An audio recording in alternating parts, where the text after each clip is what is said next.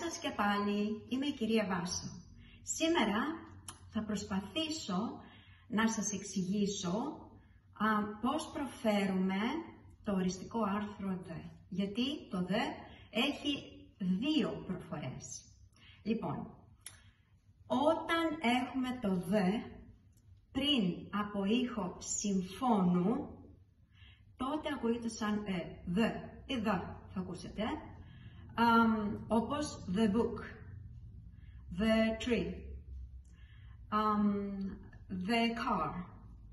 Όμως, όταν το the μπαίνει πριν από λέξη η οποία αρχίζει ήχο φωνή εντός, τότε ακούγεται σαν the, the, the elephant, the ice cream, the apple.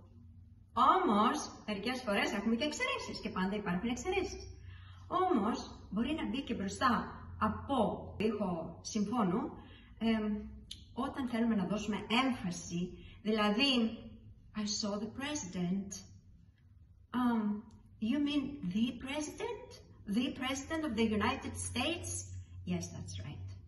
Ακούσατε αυτή τη φορά, τη δεύτερη φορά ακούστηκε σαν δι για να δείξουμε έμφαση. Έμφαση, okay. Λοιπόν, Αυτά για σήμερα. Μην ξεχάσετε να πατήσετε like και να με ακολουθείτε.